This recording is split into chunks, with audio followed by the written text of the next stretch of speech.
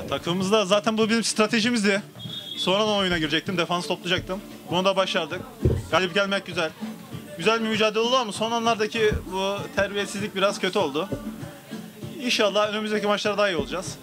Buradan da özellikle yoluma engel koyan Kenan, Kenan abime se- selam söylüyorum. Lütfen benim abi yoluma engel koyma. Beni serbest bırak abi. Teşekkür ediyorum.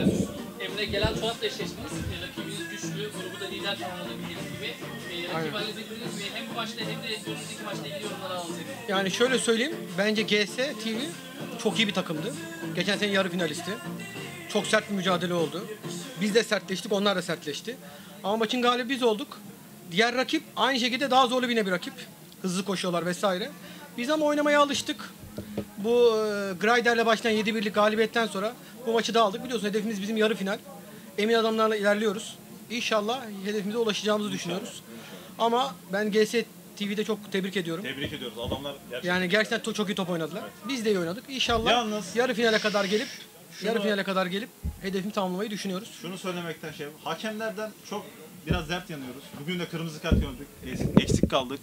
Lütfen hakemler da biraz daha dikkatli. Emeğe saygı, fair play. Çok sağ olun. Teşekkürler. Teşekkür ederiz.